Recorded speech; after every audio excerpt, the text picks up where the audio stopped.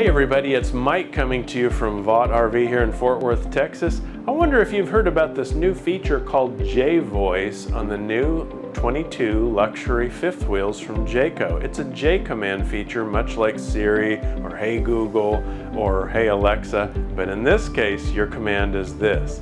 Jayco, all lights, all lights. You can turn on or turn off the lights just that simple. In fact, here's a list of commands that you can use for different features on each unit. Turning on the AC unit, your furnace, even doing a night mode and a movie mode if you're watching TV.